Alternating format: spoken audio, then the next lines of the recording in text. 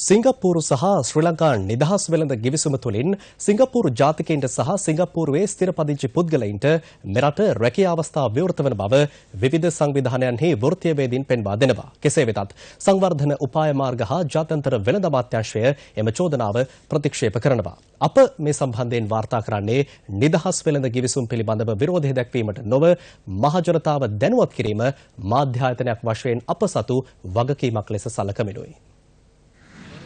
දෙදස් දහටේ ජනවාරි මාසයේදී ශ්‍රී ලංකාව සිංගප්පූරුවත් සමග නිදහස් වෙළඳ ගිවිසුමකට අත්සන් තබනවා.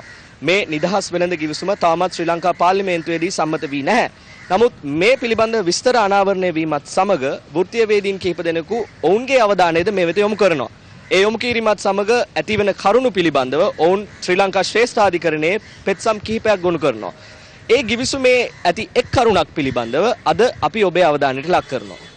සිංගප්පූරු ශ්‍රී ලංකා නිදහස් වෙළඳ ගිවිසුමේ පළමු පරිච්ඡේදයට අනුව සිංගප්පූරු ජාතිකයෙකු යනු සිංගප්පූරුවේ ව්‍යවස්ථාවට සහ අභ්‍යන්තර නීති පද්ධතිය තුළ සිංගප්පූරුවේ පුරවැසිභාවය හෝ සිංගප්පූරුවේ ස්ථිර පදිංචිකරුවෙකු වීමයි.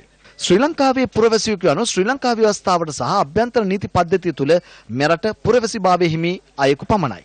සංවර්ධන උපාය මාර්ග හා ජාත්‍යන්තර වෙළඳ අමාත්‍යාංශය පැවසුවේ මෙරට ආයෝජනය සිදු කරන සිංගප්පූරු සමාගමක ශාඛා අතර හුවමාරු වන කළමනාකරුවන් විධායකයන් හා විශේෂඥයන් යන ඉහළ නිලධාරී මට්ටමේ සේවය කරන සිංගප්පූරු ජාතිකයන් සඳහා පමණක්ම සීමා කොට මෙරටට ඇතුල් වීමට අවස්ථාව ලබා දී ඇති බවයි.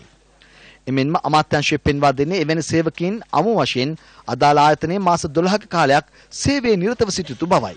මෙම ගිවිසුමෙන් කුසලතාවන්ට ප්‍රමුඛස්ථාන ලබා දෙමින් කටයුතු සැලසුම් කර ඇති බවද අමාත්‍යාංශය පවසනවා. සිංගප්පූරු ගිවිසුම සහ ශ්‍රී ලංකාව සහ සිංගප්පූරු ගිවිසුම ඉතා පැහැදිලිවම කරුණු කීපයක් තියෙනවා.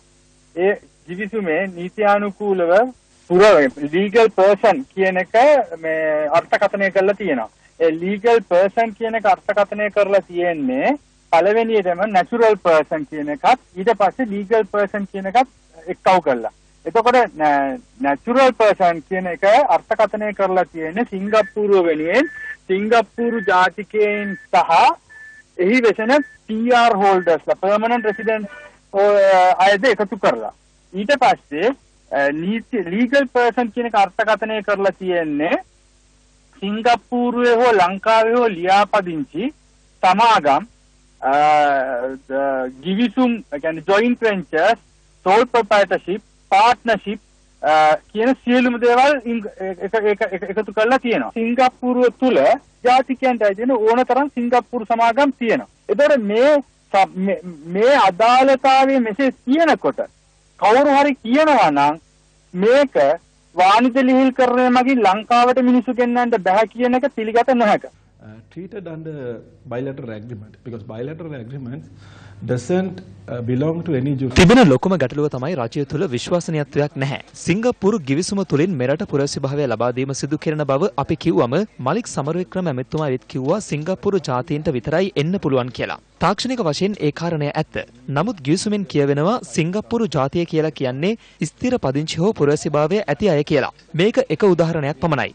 නමුත් අපි දකිනවා විශාල වැරදි සහ අක්‍රමිකතා ප්‍රමාණයක් සාකච්ඡාවට බඳුන් විය යුතුයි. අපිට දැනෙන විදිහට ඒගොල්ලෝ වෙනස්ම විදිය සෙල්ලමක් කරන්නේ. ඒක නිසායි අපි සැරෙන් සැරේ කියන්නේ ජනාධිපතිතුමාට මලික් සමරවික්‍රම ඇමතුමා මේ අමාත්‍යාංශයෙන් ඉවත් කරලා යම් වෙනසක් සිදු කරන්න කියලා. ඒක උනේ නැහැ. අපිට දැනෙන විදිහට මේ කැබිනට් සංශෝධනය නිකං බලය රඳවා ගන්න කරපු දෙයක් විතරයි. රට ඉදිරියට ගෙන යන්න නෙමෙයි සංශෝධනයන් කරලා තිබෙන්නේ.